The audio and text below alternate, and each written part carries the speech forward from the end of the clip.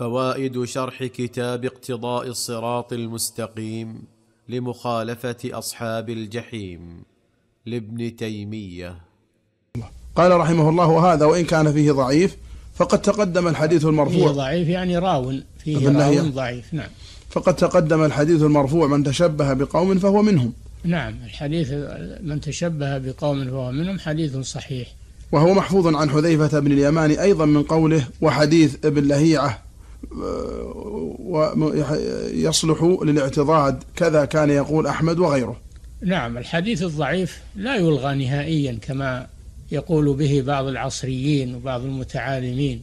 نعم. الحديث الضعيف يختلف الحديث إذا كان ضعفه قليلا أو لم يجمع على أنه ضعيف فيه من يحسنه أو فيه من يصححه فإنه لا لا يلغى بل يستدل به.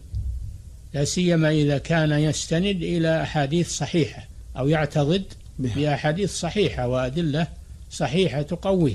ثانيا إذا كثرت طرقه فإنه يرتفع من كونه ضعيفا إلى كونه حسنا لغيره. إلى كونه حسنا لغيره. يحتج به.